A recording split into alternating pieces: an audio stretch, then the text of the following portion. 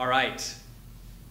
People are coming back from lunch, and energizers after lunch are really important to get people kind of out of their food coma and into the afternoon.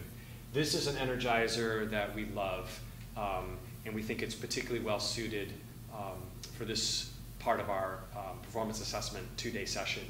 Um, it's called Zoom, and it's based on uh, a great book that has a series of images um, that are all sort of layered and zoomed out from each other, but you don't really see that uh, until you kind of have to lay all the things out in a sequence. So um, it involves that you have arrived with a, the, all the zoom images um, in color, keep them nice in, in, in, a, in a, file folder uh, as you travel on the airplane to get where you're going, um, and pass them out to all the participants uh, in the room.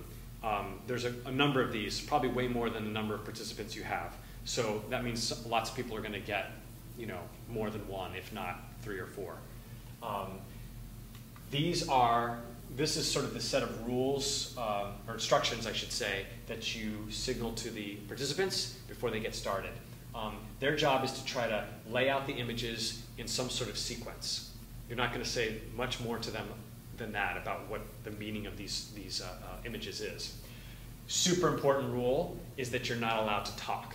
So you have to kind of use other forms of communication to work together to figure out how to, put them in the sequence.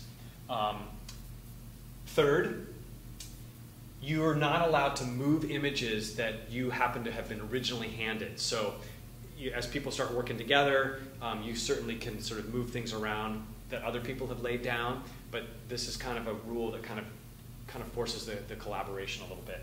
And then lastly, let people know that when the, when the group feels like it's done, they need to stand back and, and review what it looks like.